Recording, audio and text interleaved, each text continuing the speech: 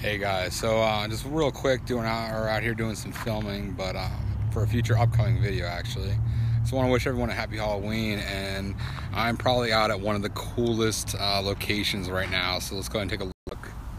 This is the original uh, filming location or filming house from the original Texas Chainsaw Massacre, filmed or released in 1974. So I'm doing a project in the upcoming uh, week that will kind of showcase everything but like I said no better way to spend Halloween than be out at one of the most famous.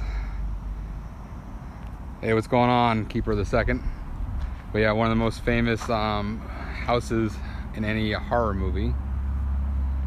So I actually got to go inside. I actually got a little bit of a, a tour from the owner so it was really cool. So I said be on the lookout for that guys.